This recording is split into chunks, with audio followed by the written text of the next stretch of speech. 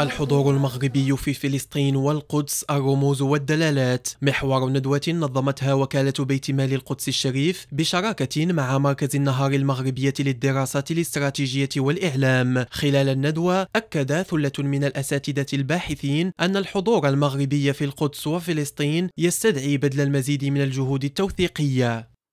اليوم آه، نقدم إصدارات آه، آه، الوكالة في حضور المغاربة في القدس وفلسطين وهو تاريخ طبعا ممتد إلى ما يزيد على 800 عام. خلف شواهد وآثار تدل على هذا التضامن المبدئي والثابت والمستمر بين المغاربة وأشقائهم الفلسطينيين على مختلف الواجهات.